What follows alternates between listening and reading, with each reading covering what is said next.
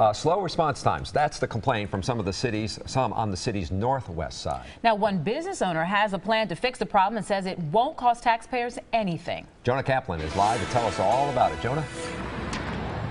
Charles and Shannon, the message here is not that MPD is doing a bad job, it's just that this station is too far away.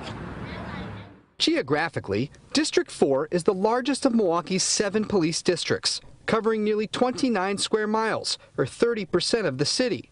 By comparison, the area of District 1, covering the east side and downtown, just 5 square miles, 5% of the city limits. Right at the corner of 73rd and Bradley, it was an accident there about a month ago. And um, I drove through picking up and dropping off kids, and a police officer didn't arrive until later. It took about a half hour, 45 minutes. Eric Primer works at a nearby daycare center. He says time is not a luxury when it comes to emergencies. If somebody got a gun or a violent crime, you you know you want the cops and stuff to be there, you know, right away. You don't want to take two or three hours to get there. You know, have to come away on the other side of town. One such incident happened only last week. A strong arm robbery at a beauty store near 73rd and Good Hope.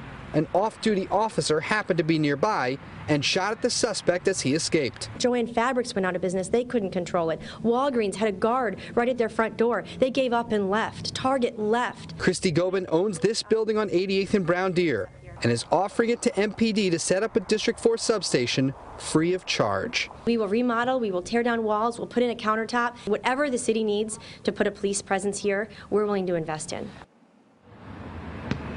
One notable supporter of the plan so far, Alderwoman Chantia Lewis here from the 9th District as well. MPD has visited the spot, but they will be the one who really has to approve it.